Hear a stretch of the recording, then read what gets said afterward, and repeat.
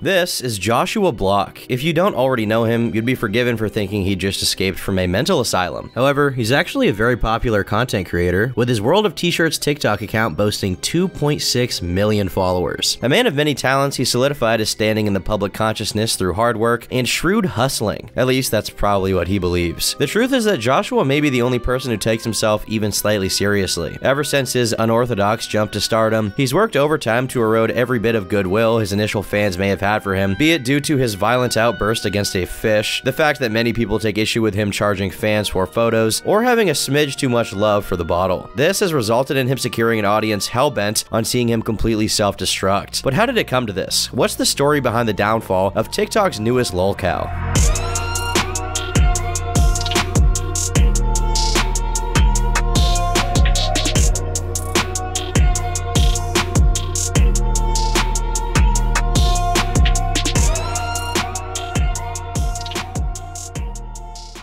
If you're one to believe websites like Wikitubia and Know Your Meme, you'll find that Joshua had uploaded his first ever video on September 22, 2020. And in fact, you'll see this repeated in multiple other places. But the story of Joshua and his channel go back further than that, all the way back to June of 2019, when the then 17-year-old first started uploading videos. For a while, he would continue uploading them to minimal views, doing so simply for fun, until he finally got his big break in October of that year, which was a video of him eating crickets. Yo, exotic food check.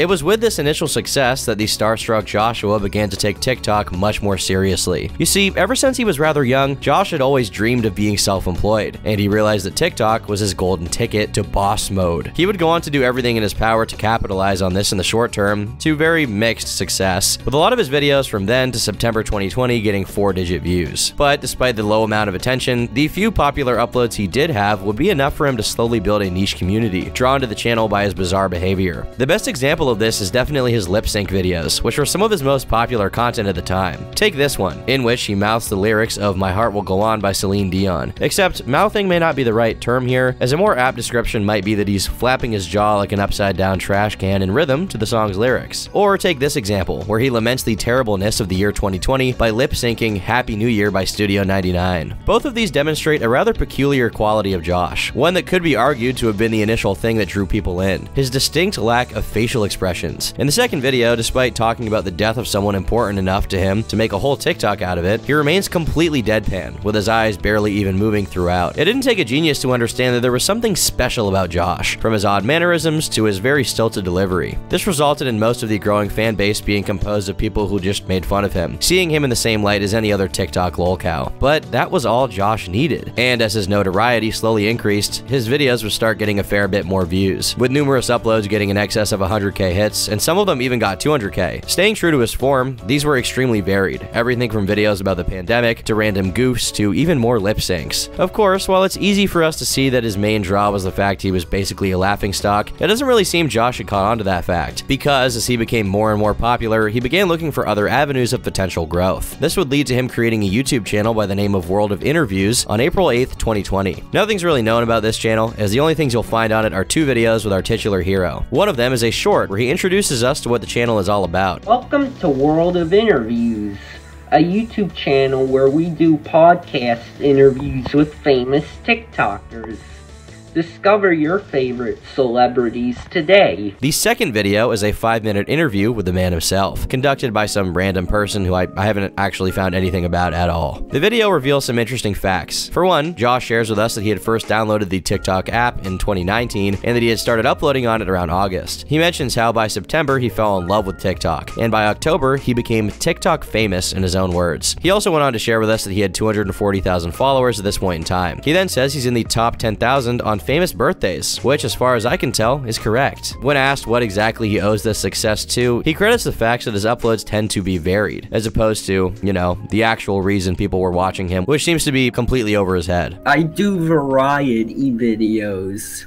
Most people on the app only post stick to one thing. Throughout the interview, he presents this YouTube channel as a guaranteed cash cow, planning to use his TikTok success and the success of other large TikTok creators he would interview to launch his YouTube channel into orbit. There wasn't much more to the interview besides the fact he once again mentions how he's still in high school at this point. For context, he was born August 7, 2001, which would have made him 18 years old. We'll get deeper into the implications of this a bit later, but keep that tucked in your noggin. This concludes with a few more TikToks made by Joshua, which are about the same quality as you would expect, with his signature still to delivery. Overall, the whole video was pretty boring, which is enough of an explanation for why it never really took off. Besides being confused on whether the interview was shot by Joshua or the interviewer, most people were far more interested in the mysterious figure standing in Joshua's doorway in the first half of the video. Questions about it were completely unanswered for the time being. Regardless, the channel was very quickly abandoned for reasons that should be obvious enough to anyone, but that didn't mean he was done experimenting with content. In September of 2020, he would once again attempt to diversify his audience by creating a secondary TikTok account called the Starbucks Club, which in his own words was a channel meant purely for people who drank Starbucks, as explained thoroughly across the first three videos on his channel. While the channel definitely had more of that unique Joshua flair than the YouTube, it seems he would abandon it pretty quickly after not finding success. Joshua is extremely familiar with the sunk cost fallacy, but there was some good news. While the side projects were a miserable failure, the World of T-Shirts channel was doing pretty well, so Josh continued to upload on it consistently. But at this point, he was still quite unknown, with his fan base being very insulated. All of this would change on the hallowed day of September 22nd, with the upload of a quaint little video in which he mouths the lyrics to some parody song, staying true to form by looking like the main character of Ride to Hell Retribution. Now, this video is actually not that remarkable in terms of views, as at this point, he would be getting 200,000 views pretty regularly, but it does serve as a split-off point between obscurity and his sudden rise to fame. Because you see, at this point, the sky was the limit for our friend with the steely gaze, and he started uploading hundreds upon hundreds of videos to his TikTok channel every single month, with a number of them scoring very solid views, including this oddball duet where he humorously judges an obvious joke TikTok. But the real difference came as September ended, when he finally broke the 200,000 view roof he had been confined to for so long with an upload on the 2nd of October. This video was dedicated to enlightening his viewers about the facts that pandemics happen roughly every 100 years, listing a couple of plagues going about 300 years back, and managing to actually get 2 million views for this informative piece. Just a few days later, however, he would go on to beat this record with a video where he painted his tongue two different colors with the use of some gummies, hopefully explaining to us the entire process. So these will change the color of your tongue permanently for weeks.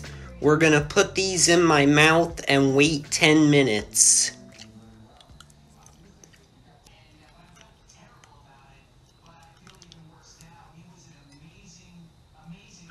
It's not coming off.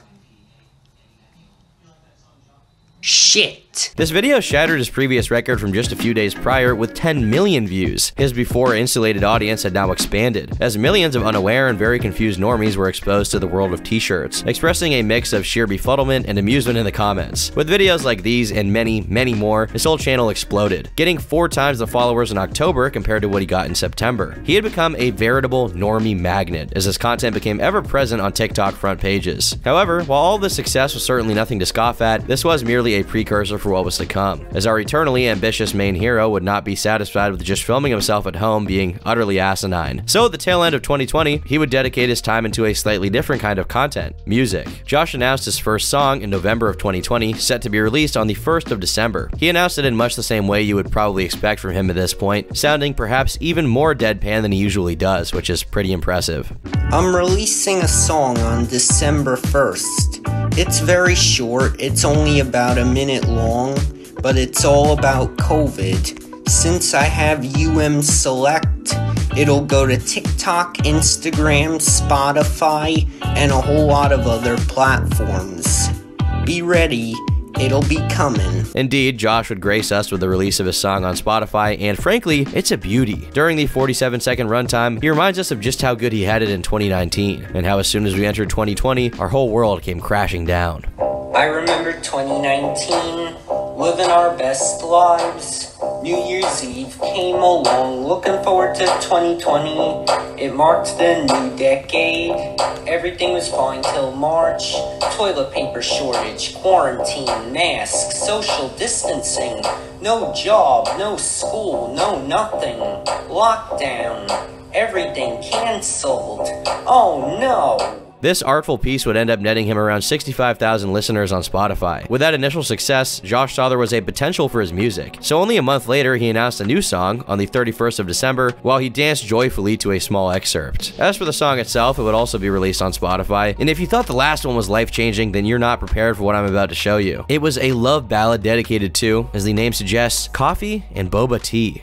Wake up in the morning, throw some clothes on, check my phone, run out the door, where do I go? Of course, to get some coffee and some boba tea. The song would end up doing better numbers on Spotify, getting around 130,000 hits. Seeing the monumental success, Josh felt inclined to truly capitalize. He created his own website, registering it under the domain worldoftshirts.com on the 1st of February, later being changed to worldoftshirts.ai. The website serves a few purposes, advertising his music and selling his merch, which contains various memes and in-jokes from his community. But it's at this point that Joshua shifts his TikTok content pretty much entirely. And on the 14th of March 2021, already a few months after his initial blowup, he uploaded a video of himself standing in Times Square, loudly singing Empire State of Mind by Jay-Z, specifically the part sung by Alicia Keys, all while surrounded by a crowd of bemused onlookers. In New York, concrete jungle where dreams are made of, there's nothing you can't do.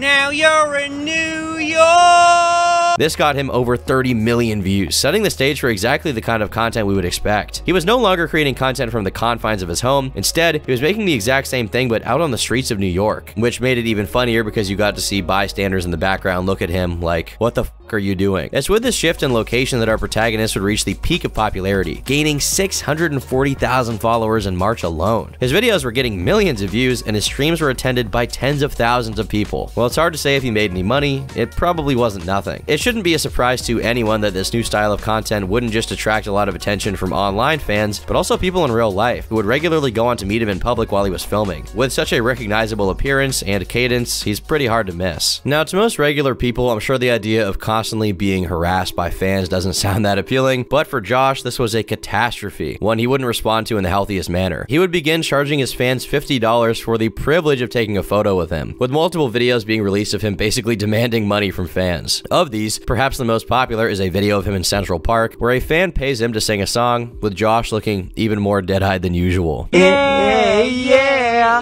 New York, concrete jungle where dreams are made of. There's nothing you can't do. Now you're in New York.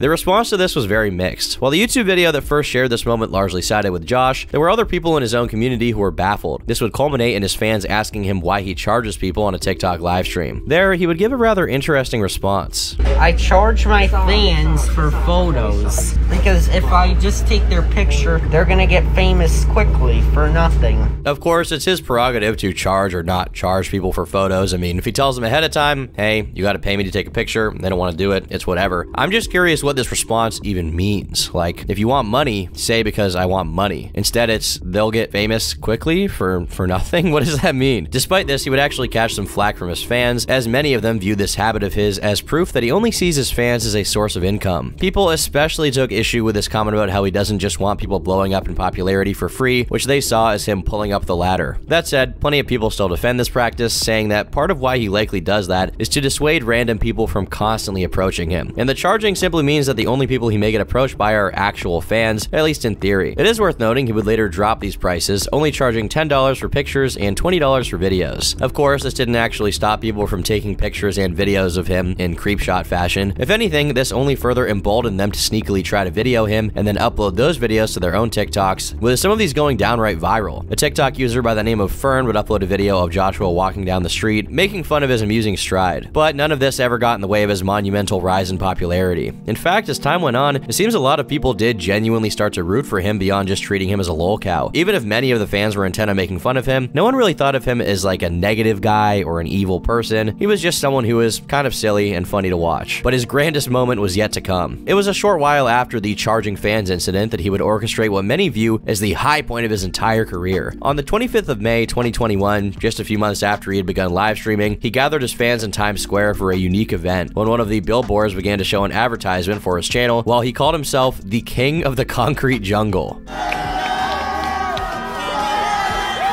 For anybody who's curious, a spot in Times Square could run you as little as $5,000 per day to as much as $50,000 per day depending on the ad and the length. Around this time, he would also do a small collaboration with a sizable YouTube channel called Side Talk, which focuses on interviewing people they meet while walking the streets. During this video, Josh does another rendition of the song that propelled him to stardom, gives a spicy hot take about school lunches, and charges one of the people present $25 for a photo. Notably, the video also includes one of the first, if not the first, use of a meme that will become rather popular on his channel, wherein he tells viewers that he's wearing Louis Vuitton because he was banned from Gucci. Overall, this first interview ended up being pretty successful, netting them 600,000 views and a pretty positive reception from commenters, who took the time to poke a little fun and also said that him only charging $25 was a blessing. The interview was so successful that Side Talk made another one just a few weeks later, where Josh once again wowed the crowd with his on-screen presence, and when told that 6 9 claimed the title of King of New York, Josh bluntly asserts that he is in fact the true king. What do you want to say to 6 9 right now? He claims to be the king of New York. I'm the king of New York. 6 9 is not the king. I am. I'm out here with no security because security's for quitters. I'm Moneybag Josh. Just like last time, this one blew up, albeit not as much. Following the success of these interviews, an unaffiliated song artist by the name of Felix Cartal would make the banned from the Gucci store meme into a song, which, in fairness to the artist, is miles better than anything Josh has ever produced. Overall, despite this early hiccup with charging fans money, he used his time in the spotlight pretty well. And while many people did view him as more of a laughing stock than genuine content creator, he had enough genuine viewers watching to get by. Around this time, he also began getting the attention of mainstream media, with online publications beginning to take notice. One of these would be posted on an internet news outlet called The Tab, in which the author would do a little deep dive on some of his history, including the controversy of demanding payments. They also brought up a very interesting claim, showing what the author believes to be an older TikTok account of Joshua's, and how around that time it had been reactivated, posting a very, uh, questionable meme.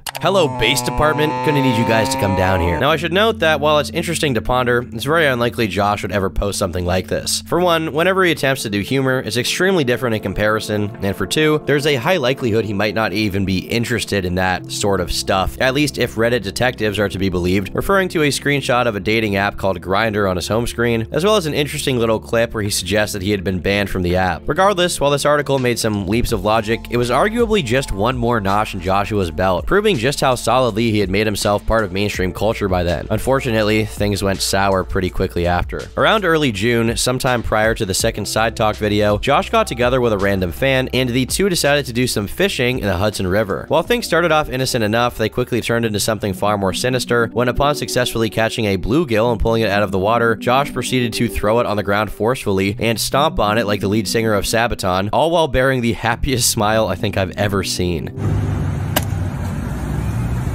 The reason he gives in the video for being this brutal is he justifies it by saying a fish shouldn't spend time in such dirty water, ostensibly making this stomping action an act of mercy. After that, he continues to throw the fish on the ground repeatedly without saying a word, letting out a demented giggle. This, understandably, wouldn't go unnoticed, as the video quickly made waves around TikTok, with re-uploads of it getting upwards of a million views. It would also be uploaded to r slash public freakout, where it got quite a bit more attention, with hundreds of comments asking how a person could do such a cruel thing. Largely, they pondered what kind of mental disorder he was suffering from that would convince him this was a good idea or, you know, make him enjoy this. Well, it's hard to track just how large the backlash against him was at the time. It was clearly bad enough to where Josh felt the need to respond to it, which he would do in a now deleted TikTok. He defended himself by saying that the fish was already dead, which in his mind made it far less serious than it previously appeared. He also complained about how it had been filmed without his permission, as the fan had not actually paid him to record. Okay, so a lot of people are upset about a leaked video of me stomping on a fish. First of all, the fish was already dead.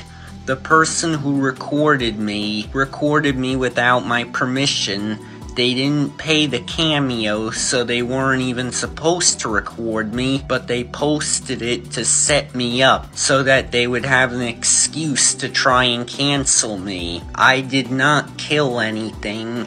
The fish was already dead. Given the original had been deleted, we can probably assume it was not well received by the public. The re-upload I showed was released around the same time as this whole drama was occurring, and the comment section is pretty much all disapproval, going as far as to suggest his behavior was a clear example of animal abuse, which can be a telling sign of a potential serial killer. The other more rational commenters focus on the fact that he doesn't seem to even understand why what he'd done was wrong in the first place. The whole drama would actually make its way onto YouTube, where the clip of him stomping out a fish made some waves. While not as as big as it was in other places, you had some relatively large YouTubers like Mitchell Reacts covering it. Right around the time this fish video was released, the explosive growth of Joshua's TikTok stopped altogether. Although whether this is because of the drama he was finding himself in, or simply because people had lost interest, can't be said for certain. What can be said for certain is that that same month, Josh went on to achieve something quite important in his personal life. He graduated from high school. Many viewers made note of the fact he was almost 20 at the time of graduation, which confirms he was held back at least a year. But despite the minor bit of good news, Josh wasn't quite done with June. While doing a TikTok live stream in a hotel room, he was doxxed live on air as he received a call on the room's landline saying exactly where he was located at the time. Understandably, this led to a bit of a freak out on his end as he spun about the room like a chicken with his head cut off. This whole situation escalated even further when at some point Josh was kicked out of the hotel entirely after the supposed doxer had convinced the hotel staff that he'd made a bomb threat. The interaction he has with the fan who recorded the video ends up being pretty amusing, as even with a stressful situation, Josh is still committed to the hustle, accepting $50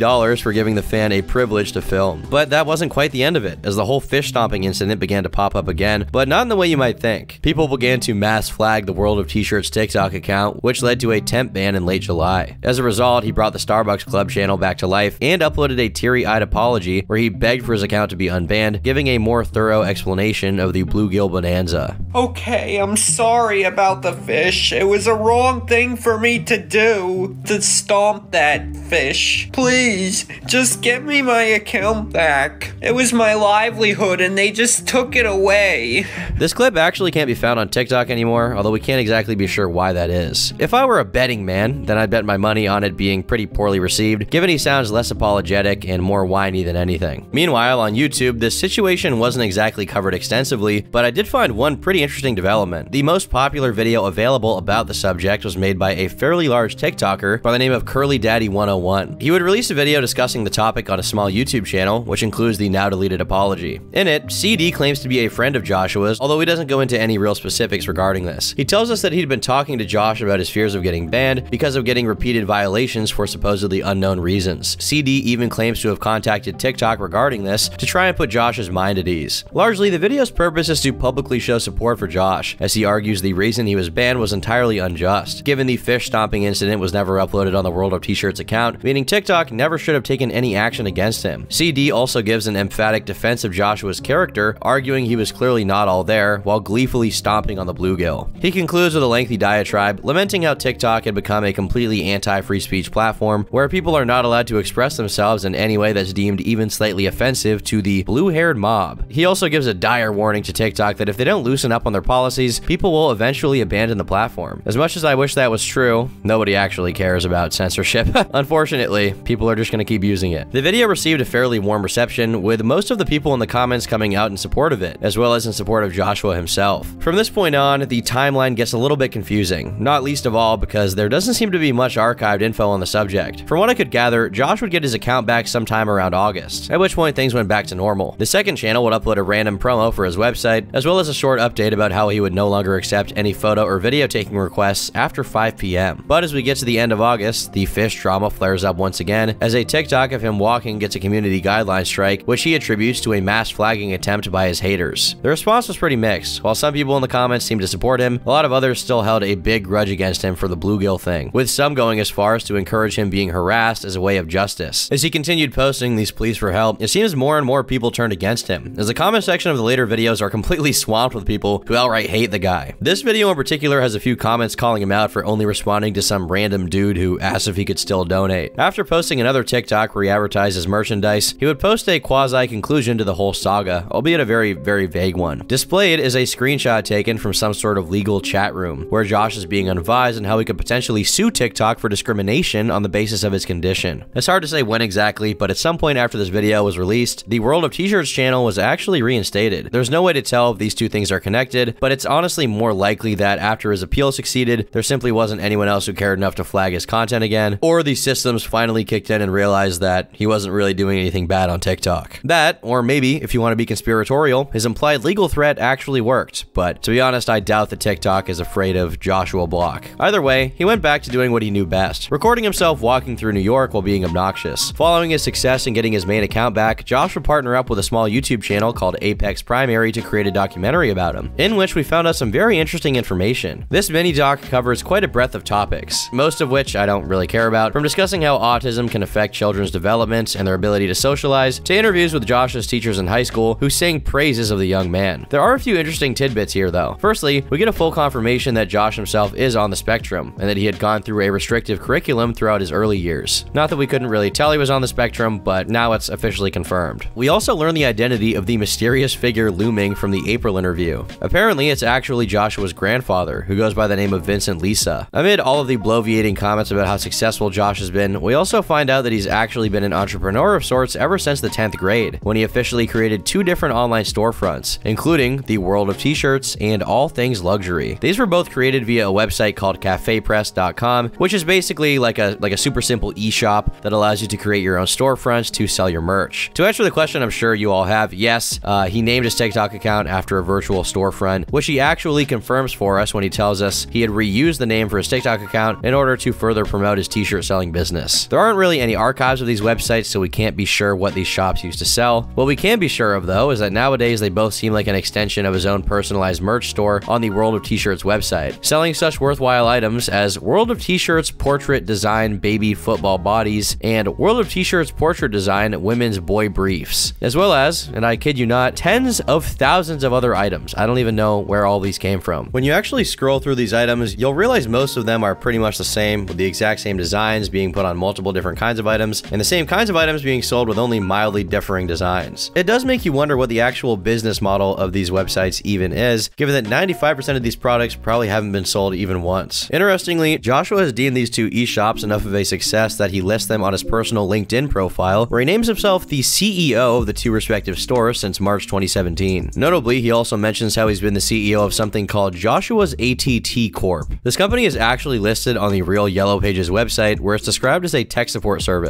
It also links to what seems to be the actual website of the company, which says pretty much the same thing. Now, Joshua has been listed as CEO of the company since early 2014, when he would have been only 12 years old. Given that you can't even get a work permit until you're 15, it should probably go without saying that the listing is not accurate, to put it mildly, and it's more likely the website was run by his family, possibly his grandfather. This also puts into question how much time he actually puts into managing these storefronts. Add that to the fact he spends most of his days wandering about New York, and it's more likely he only has his name attached to the shops for feel-good points, or perhaps advertising, but there's no way he's actually running them. As the documentary goes on, we also find out a little bit more about his personal life. Among other things, we find out his mother, who was a sole guardian growing up, passed away due to ovarian cancer in 2015, when Josh was either 13 or 14 years old. Josh's father had attempted to take care of him, but due to his inability to do so, his grandfather opted to get full legal custody. The video ends on a positive note, with a rather hopeful outlook on what the future has in store for Joshua. The documentarian seemed to feel he was just a silly guy who wanted to enjoy life and have fun on TikTok. For the time being, Josh was doing very well. While he was nowhere near the peak he had once occupied, he was still doing fairly solid numbers, and while some people had been turned off by his fish stomping, the audience he had seemed to be unaware of this or just didn't care. As 2021 lingered on, Josh got more attention from the mainstream media, with various online publications releasing articles about him. The attention was all pretty positive, focusing on the fact that he's found so much success online despite the fact that he's autistic. After that, there wasn't really much to report on for a while, because Josh was pretty drama-free throughout 2022, doing pretty much the same exact kind of content you would expect him to make, walking around New York, recording song covers or parodies or lip syncs, and just having a fun time. Unfortunately, things began to change drastically when Josh turned 21. While prior to this, he had never been known to abuse substances in any way, it's at this point that a new side of him began to emerge. Josh started to drink copious amounts of alcohol. It started off as a somewhat worrying aside to him as a person, but quickly turned into a centerfold of his entire brand. Eventually, people began tuning in for no other reason than to see the kind of shenanigans Josh will get up to while hammered. Conversely, this led to Josh creating even more content in order to sate his fans' newfound desire to see him drunk, as he began to release dozens of videos where he was drinking himself silly or already very drunk and acting crazy. He would do the same on streams, where we got to see more of his raw, unfiltered self. This is all despite the fact that, at least in the beginning, he clearly wasn't very good at handling alcohol, probably because he never even had a sip of it prior to turning 21. What the hell is happening to me? I think I'm gonna be sick. Oh. This stream archive in particular is quite noteworthy. Besides displaying just how inexperienced Joshua was at this point with drinking, it includes at least one interesting tidbit. I'm sorry for everything bad I did. I'm sorry. Please, if I die, don't send me to hell. oh, sorry. I'm so sorry for stomping on that fish. I'm so sorry. I promise I'll never do anything like that. This may actually be the first time he'd ever given a genuine apology for the whole fish incident. While he's obviously inebriated, it does make one wonder how he actually feels about it, or if he actually does understand how what he had done was wrong. Or perhaps it's just a drunk person, drunkenly rambling. This new habit of his would only become more uncontrollable as time went on, with every subsequent stream becoming more and more unhinged. One good example is present in this clip, where he's being aggressively encouraged to consume more drinks while in a club bathroom, as he pees on stream without even a hint of shame. However, things did not truly hit a fever pitch until Josh made a brand new friend, Michael Quinn. To give you a little introduction to Michael Quinn, he's a man somewhere between 40 to 60 years old, whose greatest genuine claim to fame is inheriting a company by the name of Feltman's Hot Dogs, which, as the name suggests, is famous for selling hot dogs. In fact, the company was so famous that it would eventually land him a TV interview on NBC. He's also a bit of a TikToker in his own right, although to call him that in earnest would be to give TikTokers a bad name. If you think that's somehow possible, with a grand total of 720 followers and a few more across his other social media accounts. He truly was a nobody prior to meeting Josh, at least in terms of having a following. But they met at some point in late 2022, at which point he and Michael would start to make content together. Some of the early videos seemed innocent enough, including featuring on a YouTube channel called Flavors of New York. However, things quickly devolved. And while there would be some scattered collabs like this, their focus quickly changed to where the real money was. At some point, Josh would hire Michael as his personal manager, wherein he would take a percentage of Josh's personal revenue in exchange for, as far as I can tell, pretty much doing nothing, other than following Josh around and encouraging him to drink more. Michael would quickly begin appearing in Josh's videos, perhaps being even more of a nuisance than Josh himself. He would regularly enable every bad behavior Josh engaged in, egging him on to get as many views as possible, no matter the cost to his well-being or dignity. It wasn't long before Michael was absolutely reviled in the world of t-shirts community. While people on TikTok would always welcome an opportunity to make Joshua do even more dumb things, the world of t-shirts subreddit was not nearly so polite towards him, and over the next few months, he would get absolutely railed by both Reddit and YouTube, with most of the criticism centering around the fact that he's basically just a clout leech, trying to siphon as much fame out of Josh as he possibly can. Naturally, Mike would go out of his way to defend himself from these haters, and he did so in the best way he knew how. Poorly. He would make a number of videos on his personal TikTok account, most of which are deleted today, where he would basically make the argument that he's actually helping Josh and others whom he works with. He would also regularly make the argument that he's actually trying to moderate just how much Josh drinks, with Josh himself drunkenly telling us that he only vomits when he's drinking alone. Of course, not a whole lot of people really took that defense very seriously. Pretty much the entire following that he would get from Josh were people who hated his guts, occupying the comment sections of his TikToks. But the hate campaign didn't stop there. Entire channels would pop up whose sole purpose was to document him and his behavior. In particular, a TikTok channel called Quinning2 would start re-uploading TikToks from Michael's personal account, as well as dozens of clips from the TikTok lives, capturing the craziest moments. This account would not be the only one to accuse Michael of being an out-and-out gooner. A post on the World of T-Shirts subreddit would make the same argument, highlighting an interaction from a live stream between Michael and Joshua, which sadly hadn't been archived. The post recounts how Michael was clearly trying to make Josh drink as much as possible by drinking alongside him, goading him into doing shots, in between telling Josh to defend him from the haters. The post also mentions how, for an upcoming trip to Paris, if it was okay for Michael to pay for everything and then give Joshua some extra allowance, which the commenter called sugar daddy behavior. The internet would throw a lot more accusations at Michael Quinn. On the Daniel Larson wiki, Michael has an entire article dedicated to him where he's accused of being a substance abuser who's addicted to either benzos or coke. Claims like these are mostly based on a number of, let's just say, very memorable appearances. On multiple occasions, he would go on TikTok live and look absolutely off his rocker. One of these, helpfully enshrined on Reddit, sees Michael talking to someone of very vaguely Mediterranean descent. While we don't know the full context of this clip, what it shows is very telling as Michael lays into them with some very harsh words, including the repeated use of the N-word with the hard R, all while looking completely stoned or hammered out of his mind. Wait, is Michael Quinn actually base? This video, as well as others, quickly led to even more backlash, and it made the Reddit detectives go into overdrive trying to figure out what kind of drugs he's on. One commenter noted it's most likely benzos mixed with alcohol. I'm not a medical expert, try to take these comments with a pinch of salt. This is Reddit after all, but it's possible, I guess. Regardless of the veracity of these claims, what matters here is that the backlash against Michael simply kept growing. And as time went on, more and more things about him would come to the limelight. People found all kinds of interesting factoids when they began to dig into his personal history, where they found that he actually used to be a substitute teacher. Michael Quinn getting bullied as substitute teacher. Okay? This is not gonna go on anymore. Enough! Okay, you have to learn how to act!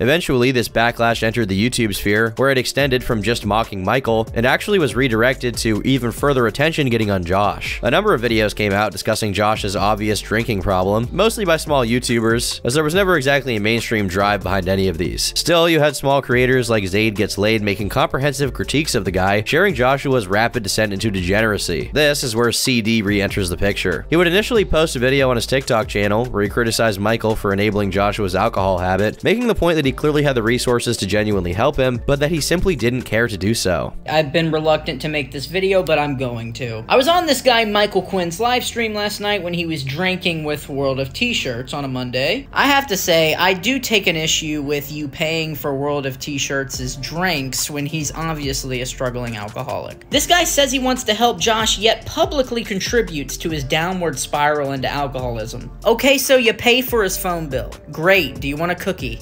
The fact is, you've probably done irreversible damage to Joshua's life. You have the ability and resources to probably get Josh some help, but I do not think you care or want to. I firmly believe that if Josh had friends his own age that were good influences on him, that he would be alright. While it was a fairly harmless video compared to the other accusations, it seems this one got a lot more attention, as Michael himself took notice of it. In a now deleted TikTok, he said CD was dead to Joshua, hinting at their former friendship. At the same time, another large TikToker called Ryan the Lion, who also happens to be within Michael's cadre of friends, would reply to it, effectively dismissing the accusations. This, along with some other comments, led CD to release a much more in-depth video on his YouTube channel. In this scathing critique, he admits that he wasn't really acquainted with Josh at this point. Still, he goes on to defend him, arguing that his alcoholism is entirely Michael's fault. He also highlights some statements made by him where he defends what he does by saying it's all for the good of the creators he works with. He accused him of being the reason Josh had stopped talking to CD in the first place, claiming Michael to be a manipulator who was separating Josh from all of his friends to keep his control. The big thing I have a problem with is a sign of a manipulator is separating someone from their friends, their good influences, whatever. That is what Michael Quinn is doing. He is making sure that Josh now no longer has any contact with me. He's making sure that Josh is separated from anybody that could potentially take him away from you, Michael. And that is a sign of a manipulator slash abuser. CD goes on to show a clip of Michael saying something very, very inappropriate about Daniel Larson, basically threatening physical violence against the man for some reason. This really is the fucking Spurg Avengers coming together to just go to war with each other, and this particular drama would eventually develop into something bigger. But for now, we'll keep it at that. While there admittedly isn't much new information in the CD video, it's at least worth noting that CD does genuinely seem to care about Joshua, which most other people frankly don't. At the very least, it seems they had been really good friends prior to Michael breaking them up. As far as I can tell, Michael never replied to this officially, apart from a few snide comments made at CD's expense. Likely, he didn't really want to bring more attention to it, given CD was probably right. Of course, this didn't stop people from continuing to hurl some very fair criticism his way, which only led to him responding more and more negatively. In the end, for all the criticism, Michael never really stopped hanging out with Josh. To this day, he continues to walk around New York with him and even travel the world with him, and all expenses paid trips to Italy, Iceland, and anywhere else you can think of. While he constantly catches more and more negative attention, it doesn't seem he's that phased by it. Not least of all because he doesn't actually rely on TikTok as a means of getting an income, given his own pre-existing hot dog wealth. As Joshua's manager, Michael would, of course, try to contribute to the management side of things, which he did by diversifying his income streams. Of these, one suggestion would really take root. World of T-Shirts New York Tour. A brainchild of Michael and Josh's collective brain power, it would see the duo do basically the same thing they always do, while also having multiple people tag along with them, pretending to act as tour guides. On a website called Holy Prof Web, it's described as a unique and immersive experience. Exactly five times. The whole article seems written by AI, fluffing up the whole tour as much as possible while also padding out the word count. But other than this obvious shill review, it also has a whole website dedicated to it, as well as its own section on the World of T-Shirts primary website. The dedicated website itself looks less professional than any WordPress or anything site I've ever seen. In fact, being kind of a shitty website, it doesn't actually say that it's being run by Joshua either, instead being portrayed as a tour inspired by World of T-Shirts, whatever that is supposed to mean. It captures the essence of World of T-Shirts, the flavor profile. However, despite Josh's no doubt staggering star power, the tour was received pretty poorly. Clips would begin to pop up of people filming themselves for taking in the activity, and pretty much all of them were done in mockery of Josh and Michael. There's nothing you can't do. Now you're in New York. We ended up in Times Square he danced, ran upstairs ten times, and left. Perhaps even more amusing than these clips, however, are the Google Maps reviews of the service. Boasting a grand score of 1.7 stars, he hasn't exactly been showered by praise, and one glance at the reviews should give you an idea why. The first review that pops up claims that Josh had showed up to the starting spot of the tour already completely hammered, and even having pissed his pants prior to showing up, only to call the review's author an unemployed piece of shit when asked if he would get him a complimentary drink. Another review posted by an actual tour guide was equally as scornful, giving a similar recollection of events as the first one, with the addition that he actually threatened to sue some of the people there for no discernible reason. You get pretty much the same story scrolling through the rest of the reviews, with just about every positive review being some sort of troll, or otherwise just not taking it very seriously. Indeed, the tour became so infamous for its shoddiness that it ended up catching some attention on YouTube and TikTok, with creators like LolCow Designs even going through the reviews for content. Oddly, if you look for reviews of it via the Google search engine, you'll probably find this little article on a website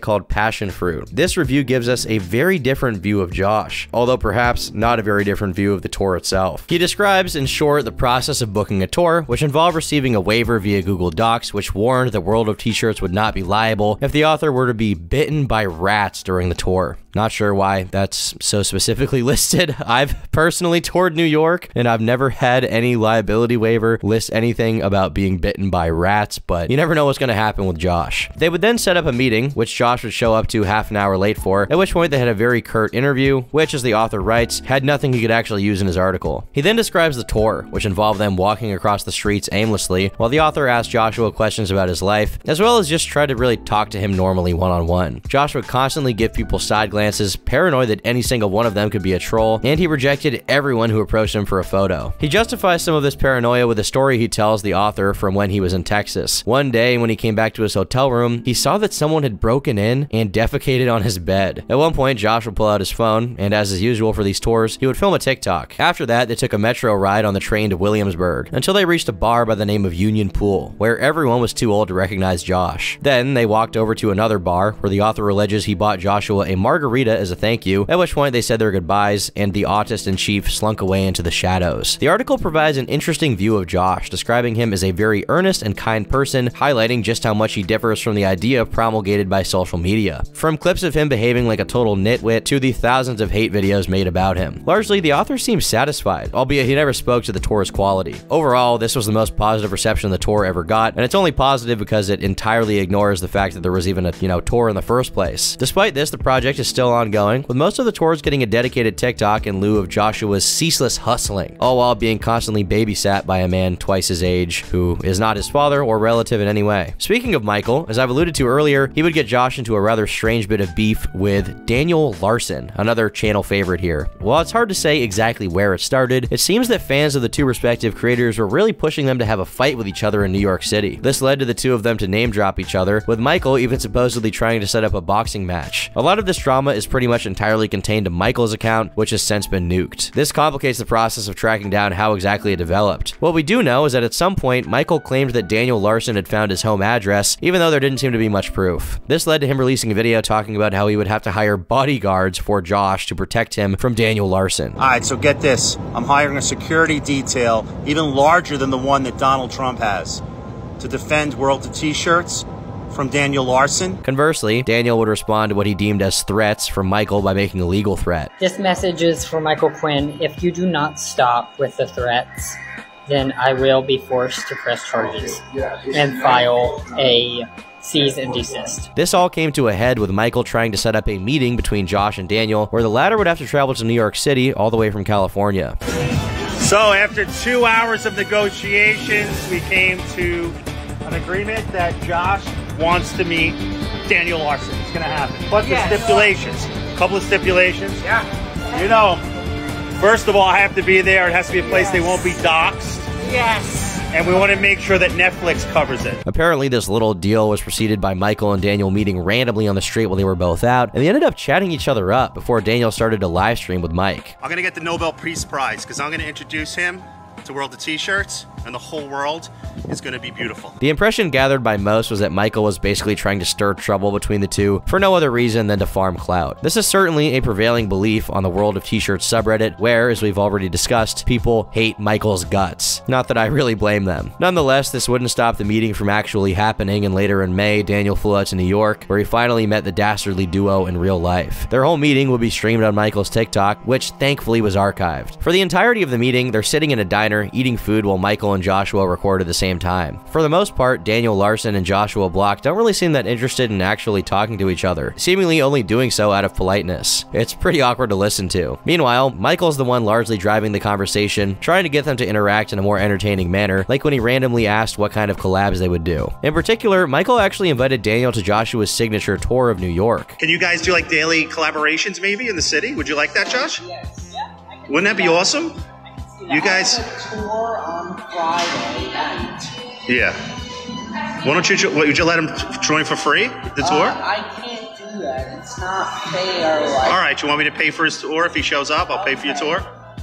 The topic eventually shifts to Reddit, and especially about how terrible it is for spreading fake news about all three of them. Michael seems particularly livid throughout this discussion, making his opinion crystal clear. I don't go on Reddit. I hate Reddit. All they do is make fun of me. Well, they are a news source, and that's what the news But they're does. fake news. They're fa- they're, They're, terrible. they're fake news, yeah. Everybody It's worse than TMZ. Yeah. After this, Josh starts talking about how someone had created a Yelp account under his name, which resulted in him getting flooded with negative reviews, which, in his view, are entirely misplaced, given that he's never actually received a complaint from any of his fans for his services. He does not bring up the Google reviews, if you were wondering, but honestly, I would doubt that he even knows they exist. After a short discussion about how both Josh and Daniel were regularly getting swatted, Michael, once again showing he's puppet mastering this thing, forces in Joshua's signature catchphrase. Josh, do me a favor. Ask Daniel if he's ever been on Tinder. Have you been on Tinder?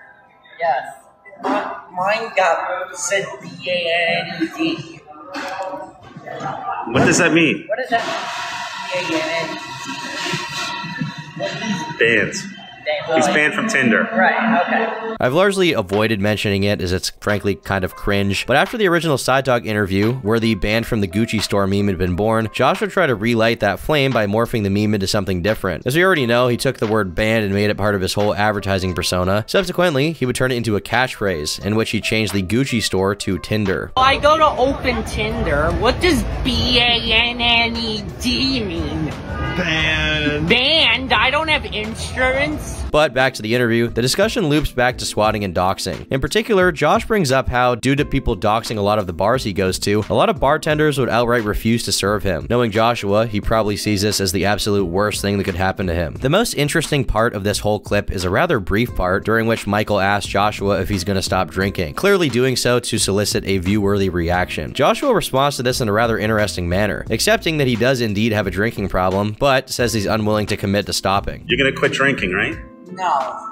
No. I'll, I'll moderate my drinking. What about quit altogether? What, what- you think you should maybe? What do you think, Dan? You think you should quit drinking? No.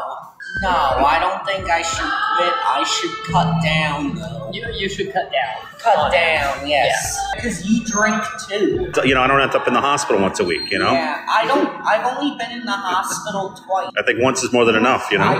He also reveals that his drinking problem has led him to end up in the hospital twice. Of course, he doesn't say it with a level of severity that that kind of statement should warrant, but he does say it. After that, there's not much to say about the interview. Michael does his best to keep the chat going as long as possible, and to the credit of our two TikTok e-celebrities, they are decent at engaging in casual conversation with each other by the end. Josh seems excited for an upcoming trip to Vegas, with perhaps the most interesting part being the fact he's mildly worried about his safety, as he's unwilling to leave the touristy areas. He seems to have a fear of the rascals of Las Vegas. In the end, Daniel and Josh part ways, having officially made peace, which is then further discussed between Josh and Mike. It's strange to hear Michael talk about it as though it had been some earth-shattering drama, considering it was completely astroturfed by him and then ended by him. There isn't really much of a takeaway here, nor a whole lot resulting from it. The much hyped collabs they talked about never really materialized, and in the eyes of most, the meeting was pretty underwhelming, not helped by the fact that most of it was just being steered by Michael. The most entertaining thing people got out of it was this brief animated clip, which parodied the whole interaction. What does B A N N E D mean? Strangely though, despite this beef seemingly being over, this didn't exactly put an end to the back and forth. While Josh was absent from it from this point on, Michael and Daniel continued to make comments about each other, although 90% of it was coming from Michael, with Daniel just occasionally firing back. Admittedly, this got pretty weird. About two months after the interview, Daniel Larson made a very odd series of tweets where he made the claim that he just had intimate relations with Michael Quinn. I don't know if that's true. Considering it's Daniel Larson, I'd say that it's 100% certified true by true-based American patriots. Uh, it's probably not true, yeah. There isn't much more to say about Michael after this, at least nothing relevant to us. His main account got deleted, and his presumed second account also got deleted. Since then, he tried to reestablish himself, with a TikTok I showed being his latest attempt. As for Josh, things would only continue to get worse and more complicated for him. His behavior would become more and more erratic, not to mention more and more controversial. While he'd largely avoided the attention of YouTubers before, a lot of people, largely smaller creators, would start making videos about him, as clips of his outbursts were circulating again and again. Among these clips, one of them that really made its way around was from a live stream of Josh from sometime in early 2023. The stream started innocently enough until the King of New York is approached by someone claiming to be a fan, only to really quickly devolve into whatever this is. My name is Dujwa, and I've been hired by somebody on TikTok to supervise all autistic people. And uh, looks like you're in need of my help. Be your bodyguard slash caretaker. No, you won't. Hey, get back here. Stop the skates. Hey, broken back. It turns out this man is Douglas Skates, who from what I can gather is a bit of a professional troll, having approached Josh mainly for clout. As you can see, Josh isn't exactly enthused to talk to him, which leads to a very strange back and forth wherein Josh tries to leave the man as far behind as possible, only for Douglas to always catch up to him, to which Josh always seems pretty shocked. I, run my I don't want to talk to you. I'm here to help. No. If you, if I'm calling the fucking police. This would keep happening pretty much for the entirety of the live stream, with Douglas constantly popping out of nowhere, just spawning in place, always able to find Josh within a few minutes of losing him. This should, of course, not really be surprising given Josh continued to stream his location, meaning Douglas could easily just watch it, find out where he is again, and then wait for him to leave, and then find him again. This clip ended up circulating both on TikTok and YouTube, mainly due to Josh's very, very angry disposition towards Douglas. Doug himself would release clips of his interactions as part of a larger video, where as the title suggests, he's trying to get banned from every library in town. Chill out, bro. We're cool. Oh, wait, don't We're cool. Guys, I'm sorry. I'm taking care of him. He's getting mad. I- am his caretaker. Calm no, down. you're not. Don't hit me, sir. Look, bro. As more and more of his public outbursts were exposed via compilations and re-uploads, Josh would start catching the attention of the commentary scene, resulting in a number of videos being released about him, namely from Kiwi Tapes. But more interesting than most of these videos is a release from a channel called Masshole Media. The channel released a video in the form of a documentary where the filming crew shows us a day in the life of Joshua Block. It does give us a pretty interesting look at the kind of person Josh is, being fairly polite with the filming crew throughout. We get to see what he looks and acts like when he's not the one holding the camera, and frankly, he seems like a pretty nice dude when he's not plastered out of his mind.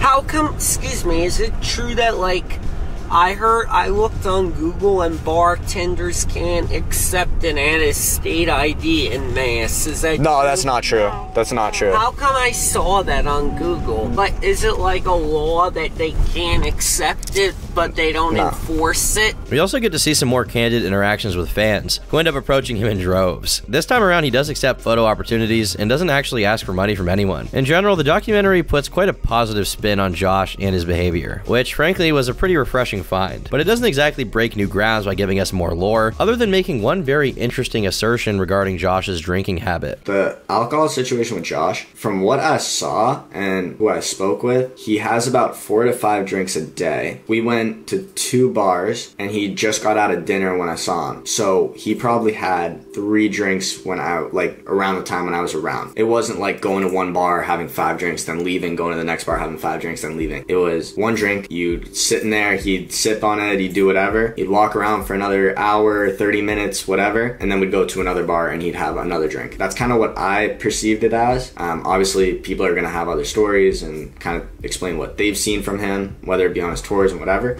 But he was controlling it and he was doing like a very very good job and he was still coherent i didn't notice anything out of the blue Suffice to say, the Masshole channel has a rather flowery view of Josh's alcoholism, although admittedly finding out how bad his drinking is is kind of hard. Given the statements by his customers, we know it's pretty bad, but without concrete numbers, it's hard to tell if he's, like, you know, pretty degenerate alcoholic or on the verge of death. But as luck would have it, we wouldn't be without concrete data for long. As the same month of the doc's release, a channel will be created on TikTok with a clear purpose, to answer the question of just how bad bad Josh's alcoholism is. The channel is pretty amusingly called World of Alcohol Tracker, and it boasts 170,000 followers of its own, pretty much spending its entire time keeping up on Josh's day-to-day activities, with a big focus on keeping track of how much he drinks. This is best exemplified by his very first video, where he notes down every single drink Josh had consumed on camera, calculating that, accounting for loss of blood alcohol level due to sobering up in between drinks, he would have had around 0.21% blood alcohol content level by 8 p.m., having started drinking around noon. For context, if you blow a 0.8 when you get pulled over, you're probably going to get a DUI. So Josh is at triple that amount. With a slight break following the second video, this guy went on to diligently catalog Joshua's alcohol consumption for every single day from the 31st of October all the way up to January. He even documented a few more relevant metrics, including the amount of money Josh would spend on drinks and even the amount of calories consumed. The channel got a shocking amount of attention, especially considering that it really hasn't been around that long and is like a niche account following a relatively niche person in the grand scheme of things, just covering his alcohol addiction. It's such a small area of anything to focus on, and it blew up, which if anything shows just how fascinated people are with the world of t-shirts. Less than two weeks after posting his first video, he posted another breakdown, which ended up netting him over 2 million views, and in that video, he concluded that throughout the 8th of November 2023, Josh got to a blood alcohol level of around 0.22, paid roughly $25, and consumed around 2,300 calories. For those who don't know, 2,300 calories is around what an average male his age would eat in a day, and he was consuming that in alcohol alone. The whole channel serves as a stark reminder of just how bad Josh's addiction has gotten, and given that he hits at least 0.2 across pretty much all these videos, it's clear that this man is drinking himself into an early grave. This new perspective on Josh led to a lot of attention being brought back to the World of T-Shirts channel, which was largely negative. While most had always been vaguely aware of his problem, these videos opened a lot of people's eyes to just how bad the problem was. Conversely, Josh and Michael would both end up learning about the tracker. According to the tracker himself, Michael came out against him, arguing he was sending people to Josh who would actively encourage him to drink more. Tracker dismissed that idea wholesale, arguing the only people encouraging it are people from Michael's side of things, which is definitely true. I'm not here to physically help Josh anymore. I'm just here to leverage his account and his content to help people. I've gotten hundreds of messages validating that people are drinking less because of this content, are more mindful about their drinking, and I think this is all great positive reinforcement that this content is helping people. So I, am so happy for that. I'm happy for all of you guys. And as MQ says in this clip, my viewers or community are the ones telling Josh, oh, you need to get to 16, you need to break a new personal record. Those people are from his own community, and they have been the ones from day one of his drinking, you know, career on TikTok. They're the ones egging him on. Regardless of what Michael Quinn might want us to believe, everyone knew that Josh had a problem, regardless of the tracker's presence. Things are really put into perspective when we reach the end of 2023, with an update for December 31st. In it, he gives a breakdown for the whole day. But the really interesting part comes later when he looks back over the entire month of December. According to his study, we find out Josh has spent around $1,500 on alcohol, with an average blood alcohol level at around 0.08, which, once again, is when you get a DUI. He would only spend 34% of the month sober, being at least slightly drunk 64% of the time, above driving limit for 40% of the time, and blackout drunk about 9% of the time. From this, he would also draw an average for the entire year, asserting that throughout 2023, Josh would have spent around $18,000 on alcohol and consumed 575,000 calories from drinking alone. Frankly, though, while the tracker undoubtedly did really good work, it's really hard to see this having much of an effect. The truth is that Josh is showing no signs of changing at all, and pretty much for the whole last year, he's been stuck in Groundhog Day, doing the same thing over and over again to an audience of people who, for the most part, couldn't really care less what happens to him. This is best exemplified when you look at his channel today. While he still gets respectable views, compounded by the facts that he releases up to a dozen videos in a single day, the comment sections are universally filled with either trolls who want him to drink more, or people referencing the tracker who, while not being fans of him, do care enough to at least say that he should stop drinking. We live in a time when pretty much anyone can get famous for anything, and there's no better example of this than TikTok. The number of absolute degenerates who gain popularity just for that is uncountable. Given that, it shouldn't be a surprise that Joshua Block has found so much success. For all of his faults, one can't deny his achievements. He managed to turn his status as a lol cow into a little career, and to this day he makes enough money to fund his very expensive drinking habit. But that's simultaneously the tragedy of it. He's always encouraged to continue the self-destructive behavior with no regard for how it affects his mental and physical health because it keeps getting views. In that, it's hard to feel anything but pity for this guy. Despite his flawed personality, the truth is that he's not nearly as bad as many other people on the platform, and frankly, he is literally autistic. Like, this guy kind of needs help, and it's not from Michael Quinn. To see him self-destruct in such a spectacular fashion is pretty heartbreaking. I can't predict what will happen to the guy, but personally, I do hope he gets better at some point, and the first step to that is probably him getting off of TikTok. As for if that's going to happen, I wouldn't speak confidently either way. I've been Turkey Tom, thanks for watching, and until next time, leave me alone.